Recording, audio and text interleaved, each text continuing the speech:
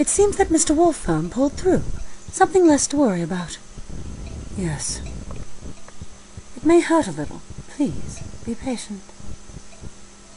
Excuse me.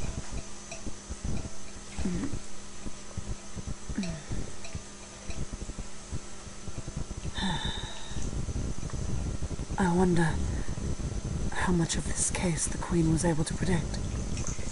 Did she really just want us to investigate a mysterious case? Or was she aware that Germany had some military secrets? Who knows? A butler cannot possibly understand the way a queen thinks.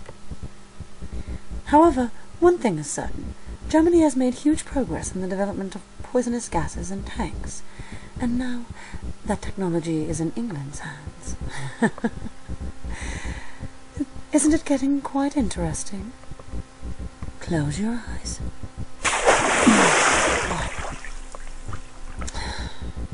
What's so interesting? Human beings change at such an astonishing speed. Yet, how come you don't get any taller? I don't want to be told that by a demon that's been the same for centuries.